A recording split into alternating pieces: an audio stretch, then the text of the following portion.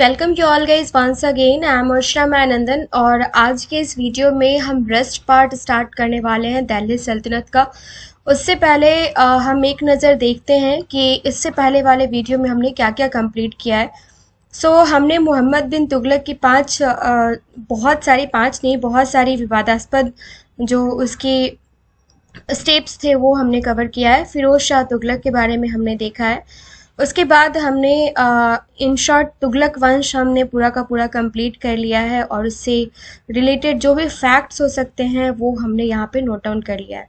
खिलजी वंश हमने देख लिया है और दिल्ली सल्तनत की अगर बात की जाए तो दिल्ली सल्तनत में हमने ये सारी चीज़ें हमने इन शॉर्ट देख रखी है। आगे हम वीडियोज़ में इसको अच्छे से देखेंगे। सो so, आज मैं आपके साथ स्टार्ट करने जा रही हूँ जो टॉपिक वो है नसीरुद्दीन तुगलक। इसके बारे में आ, हमने नहीं डिस्कस करी थी I think so Mohammad bin Tughlaq के बारे में हमने यहाँ पर देख रखा था। सो so, नसरुद्दीन तुगलक से हम स्टार्ट करते हैं एंड नसरुद नसरुद्दीन तुगलक जो है पेन पेपर लेके बैठिएगा जो भी इंपॉर्टेंट पॉइंट्स आपको लगते हैं प्लीज़ उसको नोट डाउन कर लीजिएगा। आने वाले किसी भी एग्ज़ाम के लिए सिर्फ़ बीपीएससी के लिए नहीं ये काफ़ी इंपॉर्टेंट टॉपिक है। आई मीन दिल्ली सल्तनत से क्वेश्चन हर एक एग्ज़ाम में पूछे जाते हैं।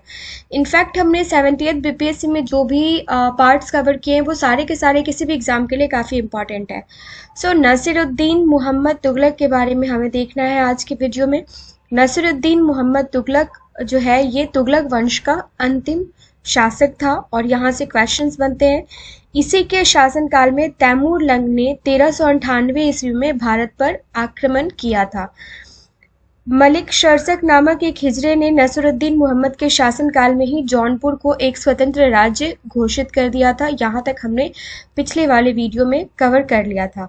अब हम आगे देखेंगे सैयद वंश खिज्र खा के बारे में।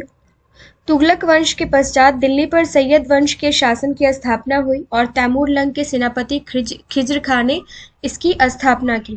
सैयद वंश का शासन जो है ये सैंतीस वर्षों तक रहा, जिसमें मुबारक शाह, मोहम्मद शाह एवं अलाउद्दीन शाह आलम जैसे शासकों ने राज किया।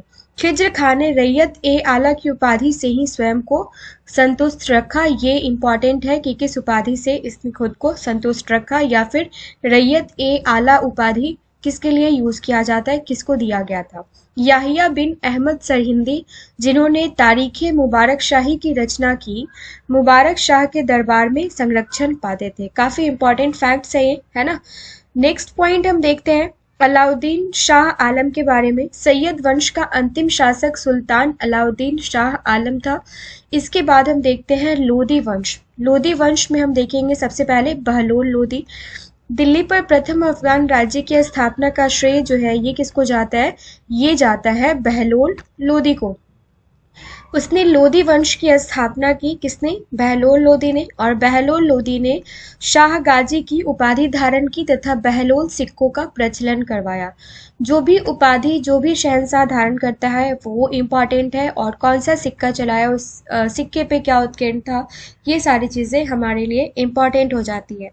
बात करते हैं सिकंदर लोदी की। लोदी वंश के शासक सुल्तान सिकंदर लोदी ने आगरा शहर का निर्माण करवाया।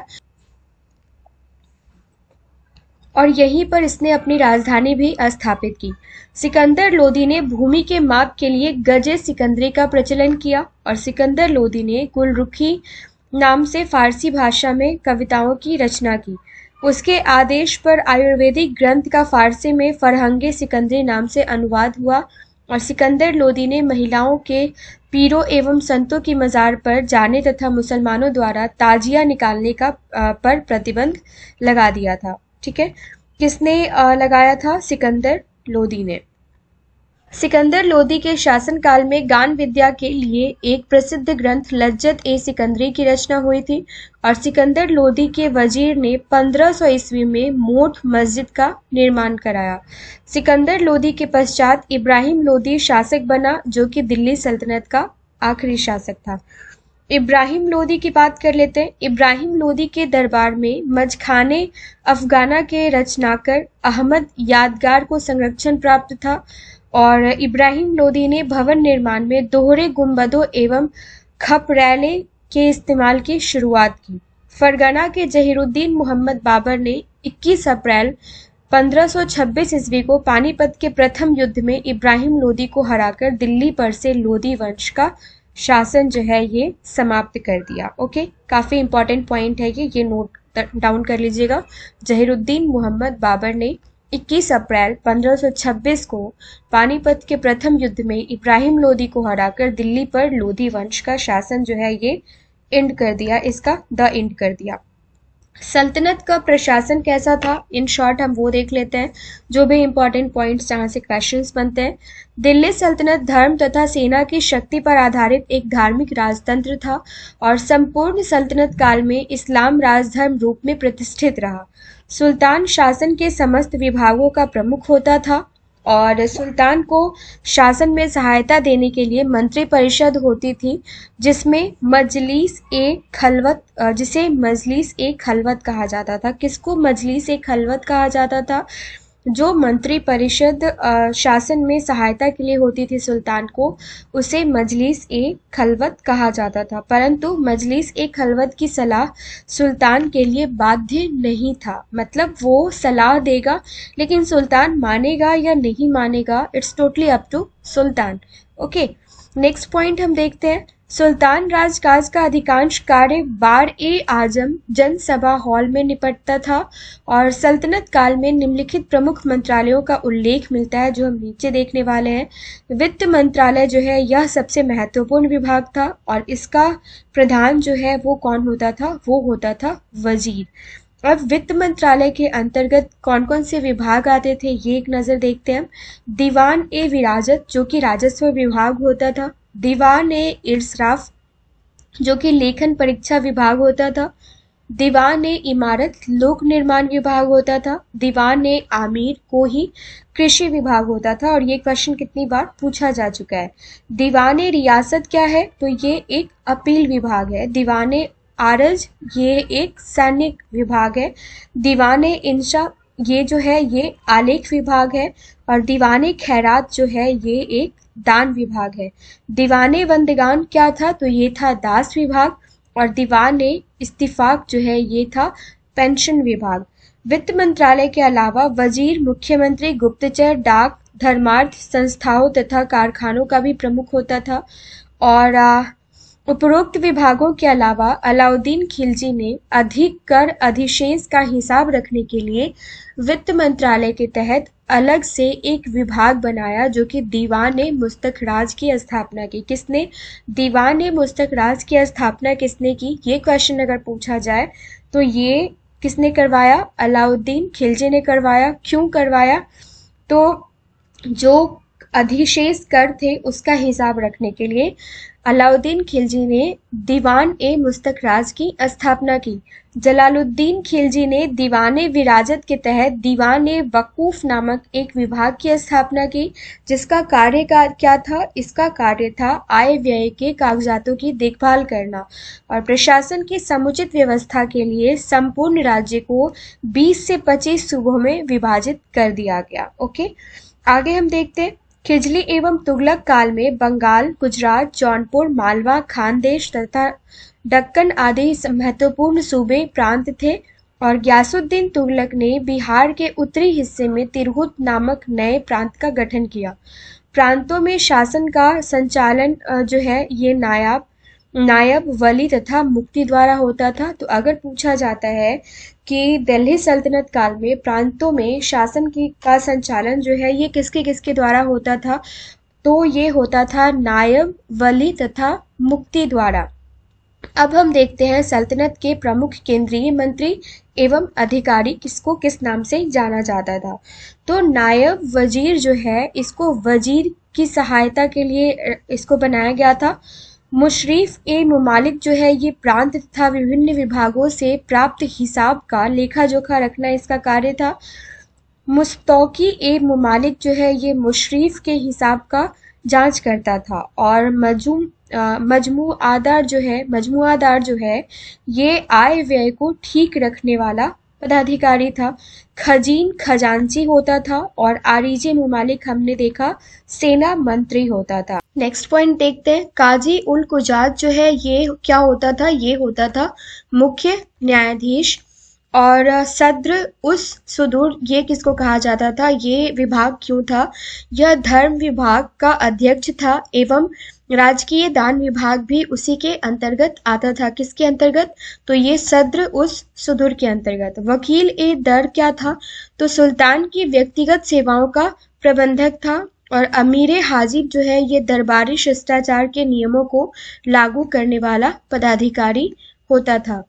सरजानदार कहते थे सुल्तान के अंगरक्षक के नायक को और अमीर आखूर जो है ये अश्वशाला का अध्यक्ष होता था। शाहनाए पील जो है ये हस्ती शाला का अध्यक्ष होता था और बरीद जो है ये गुप्तचर होता था। तो इतने सारे पॉइंट्स आपको दिमाग में रखना है। ये काफ़ी इंपॉर्टेंट है क्योंकि वन लाइनर टाइप के क्वेश्चन में फ्रेंड्स इस टाइप के क्वेश्चंस कहीं भी देखने को मिल सकते हैं। है ना? और कोई भी कमी इस वीडियो में नज़र आती है तो प्लीज़ मुझे कमेंट सेक्शन में कमेंट करके बताइए। और अगर मेरी मेहनत पसंद आती है तो चैनल को लाइक एंड सब्सक्राइब ज़रूर कीजिएगा। साथ ही साथ बेल आइकन को प्रेस कर लीजिएगा, ताकि आने वाले किसी भी वीडियो का नोटिफिकेशन आपको टाइम टू टाइम मिलता रहे। अठारहवीं सदी में सुल्तानों ने सल्तनत को सैनिक क्षेत्रों में विभक्त कर दिया था, जिन्हें क्या कहा जाता था? इकता तथा इकता या फिर अक्ता कहा जाता था। इक्ता का प्रधान एक शक्तिशाली सैनिक अधिकारी होता था, जिसे क्या कहते थे? जिसे कहते थे मुक्ति।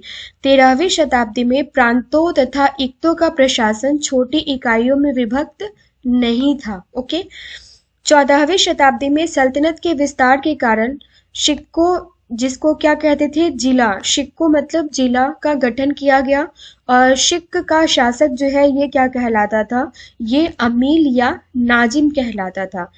एक शहर या सौ गाँवों के समूह का शासक अमीर ए सदा कहलाता था और शासन की सबसे छोटी इकाई कौन होती थी? ये होती थी ग्राम, जिसका शासन मुकदम खूत एवं चौधरी के हाथों में होता था। ये हम दिल्ली सल्तनत के बारे में देख रहे हैं। सारे पॉइंट्स इंपॉर्टेंट है। वन लाइनर्स पॉइंट्स जो भी, जहाँ से भी क्वेश्चंस बनते हैं, वो हम यहाँ पे कवर कर रहे हैं। हालाँकि मुरक्को वासी इब्न बतूता ने सादी सौ गाँवों का समूह को ही प्रशासन की सबसे छोटी इकाई मानी है। तो अगर पूछा जाता है कि इब्न बतूता के अनुसार जो प्रशासन की सबसे छोटी इकाई थी, वो कौन सी थी? तो वो सौ गाँव का समूह जिसको सादी कहा जाता था, वो था। गाँव में मुकदम मुखिया को सहायता प्रदान करने हेतु पटवारी एवं कारकुन लेखक भी होते थे और नगर प्रशासन में अमीर सदा की सहायता के लिए कौन कौन होता था? तो ये होता था मुतफ मुतसरीफ कारकुन, बालाहार, मुकद्दम, चौधरी, पटवारी एवं पियादा, ओके? ये सारे टर्म्स हमें नोट डाउन कर लेने हैं। फिर नेक्स्ट पॉइंट देखते हैं। इस्लाम के अनुसार शरा में राजकीय आय के पाँच साधन होते थे। उसको क्या कहते हैं? ये इसे ज़रूर नोट डाउन कर लीजिएगा फ्रेंड्स ये है उशर, खिराज, जक़ात, खम्स व जजिया, ओके? इसका उल्लेख मिलता है दिल्ली सल्तनत के हिसाब से। उशर जो है ये मुसलमानों से वसूला जाता था, जबकि खिराज जो है ये गैर मुसलमानों से लिया जाता था। जक़ात जो है ये एक प्रकार का धार्मिक कर था, जो गैर मुस्लिमों से लिया जाता था। कौन सा कर? जक़ात कर जो है ये धार्मिक कर था और ये गैर मुस्लिमों से लिया जाता था। जजिया हिंदुओं से लिया जाने वाला कर था तथा खम्स जो है, ये लूट के माल में राज्य का हिस्सा होता था। उपरोक्त करों के अलावा राज्य को खानों, भूमि के गड़े हुए धन, निर्यात आयात कर, आबकारी कर, यात्रा कर, चारागाह कर, गृह कर, लावारिस, संपत्ति एवं सिंचाई कर आदि से भी आय होती थी दिल्ली सल्तनत में। आगे हम देखते हैं अलाउद्दीन खिलजी की बाज़ार नियंत्रण व्यवस्था जिससे काफ़ी सारे क्वेश्चंस पूछे जाते हैं और बहुत ही इंपॉर्टेंट पॉइंट है ये। इसको हम अच्छे से यहाँ से देख के जाएँगे। सो so, अलाउद्दीन खिलजी ने बाजारों का नियंत्रण किया तथा दैनिक प्रयोगों की वस्तुओं का मूल्य जो है ये निश्चित कर दिया था। किसने? अलाउद्दीन खिलजी ने। उस युग के लिए यह अद्वितीय प्रयोग था जो कि अलाउद्दीन खिलजी के द्वारा अपनाया गया था। और इसकी जानकारी हमें जियाउद्दीन बर्नी की फतवाह जहानदारी से प्राप्त होती है। तो ये जियाउद्दीन बर्नी की है फतवाह जहानदारी। अलाउद्दीन ने बाजारों को कितने भागों में बांटा था? तो ये भागा, बांटा था तीन भागों में। मंडी खाद्यान्नों का बाज़ार पहला, दूसरा था सराय अदल कपड़ों एवं विनिर्मित वस्तुओं का बाज़ार था और बाज़ार था। और थर्ड था पशु एवं दास बाज़ार, जो कि घोड़ों, मवेशियों एवं दासों का बाज़ार होता था। ठीक है? विभाग एवं पदाधिकारी जो है, ये अलाउद्दीन खिलजी ने दीवाने रियासत वाणिज्य मंत्री को बाज़ार नियंत्रण की संपूर्ण व्यवस्था का दायित्व सौंप दिया था और इस पद पर अपने विश्वस्त अमीर याकूब को नियुक्त किया था अलाउद्दीन खिलजी ने। अब कुछ इंपॉर्टेंट पॉइंट्स है, यहाँ से हम नोट डाउन कर लेंगे। शाहनाए मंडी जो है, ये क्या, कौन होता था? ये होता था बाज़ार का अधीक्षक। मुतसिब जो है, ये क्या होता था? ये होता था सेंसर अधिकारी। बारीद किसको कहते थे? बारीद घूम घूम कर सूचनाएँ एकत्र करके शहना के पास पहुँचाने वाला गुप्तचर होता था और मुनहीन क्या होता, कौन होता था? यह एक स्थान पर रहकर बाज़ार के गुप्त सूचना देने वाला कर्मचारी था कौन? मुनहीन ओके? मुनहियान, ओके? माफ़ कीजिएगा। परवाना नवीस किसको कहते थे? ये परमिट देने वाले अधिकारी को परवाना नवीस कहते थे। और वही नाजीर कौन था? तो नाजीर था मापतौल करने वाला अधिकारी। बाज़ार की विशेषता क्या थी? व्यवस्था तो हमने देख लिया। अलाउद्दीन खिलजी के बाज़ार की विशेषता क्या थी? तो सुल्तान ने दलालों को बाज़ार से निकलवा दिया था और काला बाजारियों के साथ अत्यंत कठोर नीति अपनाई जाती थी। जो भी कम तौलते थे या अधिक मूल्य वसूलने वालों के खिलाफ कठोर दंड की व्यवस्था थी तो ये थी इसकी बाज़ार नियंत्रण प्रणाली। अधिकांश इतिहासकारों का मत है कि यह व्यवस्था सिर्फ़ दिल्ली में ही लागू था, जो कि अलाउद्दीन खिलजी के द्वारा लागू किया गया था। मुसलमानों को अपने व्यापारिक वस्तुओं पर 2.5 परसेंट एवं हिंदुओं को 5 परसेंट की दर से चुंगी अदा करना पड़ता था, ओके? सुल्तान सल्तनत का प्रधान न्यायाधीश होता था और सुल्तान के नीचे काजी उल कुजात का पद होता था और सुल्तान के अलावा वह भी शीर्ष स्तर के मुकदमों में निर्णय लेता था। कौन? काजी उल कुजात, ओके? नेक्स्ट पॉइंट हम देखते हैं। कस्बों एवं गाँवों में स्थानीय पंचायतें विवादों का निपटारा करती थी। न्याय कुरान के नियमों एवं शरा जो कि इस्लामी परंपराएँ हैं, उसके अनुसार होता था। प्रांतों की न्यायपालिका में वजी, काजी ए सूबा, दीवाने सूबा एवं सदरे सूबा आदि चार न्यायालय होते थे। तो कौन कौन से चार न्यायालय होते थे? ये होते थे वजी, काजी ए सूबा, दीवाने सूबा एवं सदरे सूबा चार न्यायालय होते थे प्रांतों की न्यायपालिका के लिए, न्यायपालिका में न्याय करने के लिए। इस्लामिक कानून के चार स्रोत होते थे कौन कौन? तो ये थे कुरान, प्रशासनिक कानूनों के स्रोत, हदीस, पैगंबर की उक्तियाँ, इज्मा जिसमें मुजत, मुजतहिद द्वारा दी गई व्याख्या पर आधारित कानूनी स्रोत होता था और कयास तर्क जिसमें विश्लेषण पर आधारित कानून होता था। इस्लामिक कानूनों के विख्याता जो हैं, ये क्या व्याख्याता जो है, जो व्याख्या करते थे, वो क्या कहलाते थे? तो ये कहलाते थे मुजतहिद ओके? सल्तनत काल में सेना मौलिक रूप से कितने प्रकार में विभक्त थी, कितने प्रकार में बटी हुई थी? तो दो प्रकार में बटी हुई थी। वो कौन थे? वो थे हम्श ए कल्ब और दूसरा था हमश ए अतरफ। अब हमश ए कल्ब कौन था? वे सैनिक जो सुल्तान द्वारा नियुक्त किए जाते थे एवं उसी के अधीन होते थे। किसके अधीन? सुल्तान के ही अधीन होते थे और उसी के द्वारा नियुक्त किए जाते थे, जिसको हम कहते हैं हमश ए कल्ब। और सुल्तान के सामंतों एवं प्रांतपतियों के द्वारा नियुक्त किया गया सेना, उसको कहा जाता था हमश ए अतरफ। आगे सैनिकों की भर्ती कैसे होती थी वो हम देखते हैं। सैनिकों की भर्ती, उनके वेतन की व्यवस्था, उनके हुलिया का विवरण रखना, उनके अस्त्र शस्त्र तथा रसद आदि का प्रबंध करना, किसका काम था? तो ये था दीवान ए आरिज का काम। और प्रारंभ में सैनिकों एवं सेनानायकों को वेतन जागीर के रूप में प्रदान किया जाता था लेकिन अलाउद्दीन खिलजी ने इस प्रथा का अंत कर दिया। तो हमें ये भी क्वेश्चन पूछा जाता है कि किसने किस आ, आ, शासक ने आ, वेतन जो है ये जागीर के रूप में देना बंद कर दिया था। तो ये दिया था नकद वेतन का स्टार्ट किसने किया था? को स्टार्ट किसने किया था? तो ये किया था अलाउद्दीन खिलजी ने। सेना का गठन दशमलव पद्धति के आधार पर किया गया था। ठीक है? ये क्वेश्चन पूछा जाता है हमसे। और दस अश्वरोहियों की एक टुकड़ी सर एक खैल कहलाती थी। दस सरे खैल के ऊपर एक सिपाह सलाहकार होता था और दस सिपाह सलाहकारों के ऊपर एक अमीर होता था। दस आमिरों के ऊपर एक मलिक और दस मलिकों के ऊपर एक खान होता था। कुतुब मीनार का निर्माण किसने करवाया? निर्माण किसके स्मृति में करवाया गया? तो ख्वाजा मोइनुद्दीन बख्तियार काकी के स्मृति में कुतुब मीनार का निर्माण करवाया गया। अब कुवात इस्लाम मस्जिद का विस्तार अलाउद्दीन खिलजी द्वारा किया गया। अब हम आज का लास्ट टॉपिक देखेंगे सल्तनत काल के महत्वपूर्ण निर्माण कार्य।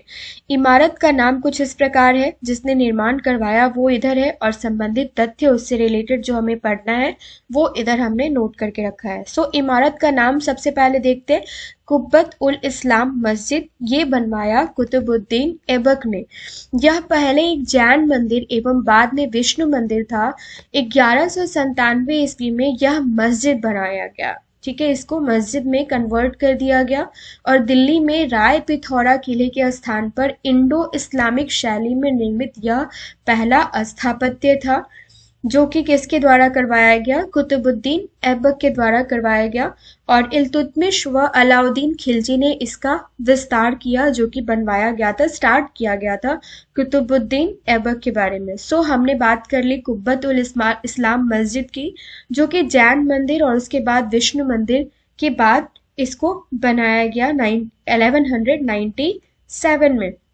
नेक्स्ट हम देखते हैं अढ़ाई दिन का झोपड़ा। अढ़ाई दिन का झोपड़ा जो है, ये कुतुबुद्दीन ऐबक के द्वारा ही बनाया गया है और 1200 ईस्वी में अजमेर में निर्मित यह पहला, पहले एक मठ था, मठ या विहार था, ठीक है? इसकी दीवार पर विग्रह राज चतुर्थ द्वारा रचित संस्कृत नाटक हरि केली के अंश जो है, वो आज भी उद्धृत है, आज भी देखने को मिलते हैं। सो so, अभी भी ये विवादास्पद है कि अढ़ाई दिन का झोपड़ा ये आ, कहने के लिए बहुत बार एडिटोरियल्स साइड में भी आया है कि ये हिंदुओं के स्थान के हिसाब से इसको जाना जाना चाहिए। सो so, कुतुब मीनार की हम बात करते हैं। कुतुब मीनार कुतुबुद्दीन ऐबक के द्वारा इसका निर्माण प्रारंभ किया गया था और हमने ऊपर में देखा है कि कुतुब मीनार जो है, इसका निर्माण किसके स्मृति में किया गया? तो ख्वाजा मोइनुद्दीन बख्तियार काकी के स्मृति में कुतुब मीनार का निर्माण कब किया गया? कुतुबुद्दीन ऐबक के द्वारा कुतुब मीनार का निर्माण किया गया। और ये, अब इसकी ऊंचाई जो है कुतुब मीनार के बारे में हम देखते हैं। 24 फीट है, अब इसके बारे में हम देखेंगे कैसे इसकी ऊंचाई बढ़ाई गई, पहले कितना था। 1911 में कुतुब मीनार का आरंभ हुआ और 1232 ईस्वी में इल्तुतमिश द्वारा पूर्ण किया गया। ये क्वेश्चन पूछा जाता है। संभवतः इससे यह नाम सूफी संत कुतुबुद्दीन बख्तियार काकी से मिला ऑब्वियसली हमने इसको पढ़ रखा है कि इन्हीं के स्मृति में इसको बनाया गया। इसके छज्जे स्टेलेक्टाइट हनी कोमिंग तकनीक द्वारा मीनार से जुड़े हैं। इसके आधार पर एक पूरा लेख पर फजल इब्न अबुल माली का नाम मिलता है और विद्युत आघात यह कारण इसकी एक मंजिल इसकी वजह से एक मंजिल जो है ये क्षतिग्रस्त हो गई, जिसकी मरम्मत करवाने के साथ साथ फिरोज तुगलक ने एक अन्य पांचवी मंजिल भी जोड़ दी थी। 206 ईस्वी में सिकंदर लोदी ने इसकी मरम्मत करवाई और अब इसकी ऊंचाई कितनी है? 24 फीट की है। प्रारंभ में इसे चार मंजिला व 125 फीट का बनाया गया था। ओके, आगे हम देखते हैं। इल्तुतमिश का मकबरा, जो कि इल्तुतमिश के द्वारा ही बनवाया गया था, दिल्ली स्थित एक कक्षीय मकबरा है, जो कि 1232 ईस्वी में बनवाया गया और ये लाल पत्थर से बना है। इसमें हिंदू और इस्लामी वास्तुकला का मिक्सचर है, मिश्रण है। यहाँ पे हमें ये एक और नोटिस कर देना है सुल्तान गढ़ी के बारे में, जो कि इल्तुतमिश के द्वारा बनवाया गया और 1231 ईस्वी में सुल्तान इल्तुतमिश द्वारा अपने ज्येष्ठ पुत्र नासिरुद्दीन का मकबरा बनवाया गया और भारत में निर्मित प्रथम मकबरा है ये। इल्तुतमिश को मकबरा शैली का जन्मदाता कहा जाता है तो ये पॉइंट आप नोट डाउन कर लीजिएगा। अगर क्वेश्चन पूछा जाता है कि मकबरा शैली का जन्मदाता किसको कहा जाता है? तो ये इल्तुतमिश को कहा जाता है। हौजे शमसी तथा शमसी ईदगाह ये भी इल्तुतमिश ने बनवाया और दोनों भवन बदायूं में स्थित है। कौन सा? हौजे शमसी और शमसी ईदगाह ये कहाँ स्थित है? ये स्थित है बदायूं में। अब इतना हम कंप्लीट करने के बाद देखते हैं बलबन का मकबरा जो कि बलबन ने बनवाया। इसमें पहली बार वास्तविक मेहराब का प्रयोग किया गया, इसलिए क्वेश्चन पूछा जाता है। और यह मेहराब जो है, ये तिकोने डॉट पत्थरों और मुंडेर पत्थर पर आधारित था, ओके? यह कुत उल इस्लाम मस्जिद का दक्षिणी प्रवेश द्वार था। इसमें पहली बार तिकोने डॉट पत्थरों पर आधारित वैज्ञानिक विधि से गुंबद बनाया गया। यही पहली बार घोड़े की नाल की आकृति वाले मेहरा बनाई गई। ये सारे के सारी चीज़ें फ़र्स्ट टाइम हुई थी और बलबन के मकबरा में हुई थी। बलबन के द्वारा जो बनाया गया था, इसलिए ये इंपॉर्टेंट है। अलाई दरवाजे अलाई दरवाजे के बारे में मार्शल ने कहा है कि अलाई दरवाज़ा इस्लामी स्थापत्य के खजाने का सबसे सुंदर हीरा है और यह इमारत लाल पत्थर की है। इसमें कुरान की आयतों से काफ़ी सजावट की गई है। किसमें बलबन के अलाई दरवाज़ा में, जो अलाउद्दीन खिलजी के द्वारा बनवाया गया। फिर बात आती है हज़ार सितून की, हज़ार स्तंभों वाला महल है ये, जो कि अलाउद्दीन खिलजी के द्वारा बनवाया गया और दिल्ली के निकट सीरी नामक नगर के पास 1303 ईस्वी में इसको निर्मित किया गया था। जमात खाना मस्जिद क्या है? ये अलाउद्दीन खिलजी के द्वारा बनवाया गया और तत्कालीन मस्जिदों में सबसे बड़ी है। पहली ऐसी मस्जिद है जो पूर्णतः इस्लामी विचारों के अनुसार बनी हुई है और यह दिल्ली में निज़ामुद्दीन औलिया की दरगाह के पास स्थित है। जो लाल पत्थर से बनी है, कौन सी जमात खाना मस्जिद? ख्वाजे अलाई क्या है? ये अलाउद्दीन खिलजी के द्वारा बनवाई गई है। ख्वाजे खास भी कहा जाता है। हौजखस जो अभी हम सुनते हैं मेट्रो, ये दिल्ली में स्थित है। सीरी का किला अलाउद्दीन खिलजी के द्वारा अगेन बनवाया गया। 1303 ईस्वी में दिल्ली में निर्मित मंगोल आक्रमण से सुरक्षा के लिए इसको बनाया गया था, किसको? सीरी के किला को। आज का लास्ट पॉइंट है हमारा। उखा मस्जिद जो कि मुबारक शाह खिलजी के द्वारा बनाया गया था भरतपुर राजस्थान में स्थित है। सो so, ये थे आज आ, के पॉइंट्स इंपॉर्टेंट फैक्ट्स जो हमने इस वीडियो में कंप्लीट किया। और नेक्स्ट वीडियो में हम कंप्लीट करेंगे सल्तनत काल के प्रमुख अधिकारी के बारे में जहाँ से क्वेश्चंस बहुत सारे पूछे जाते हैं ओके आई होप ये वीडियो आपको पसंद आया होगा। कोई भी कमी नज़र आती है तो मुझे कमेंट सेक्शन में कमेंट करके ज़रूर बताइएगा। नेक्स्ट वीडियो काफ़ी इंपॉर्टेंट होने वाला है क्योंकि इस टाइप के पॉइंट्स हम नोट डाउन करने वाले हैं आप देख रहे होंगे जो कि क्वेश्चन पूछे ही जाते हैं। सो so, मिलते हैं नेक्स्ट वीडियो में। Thank you so much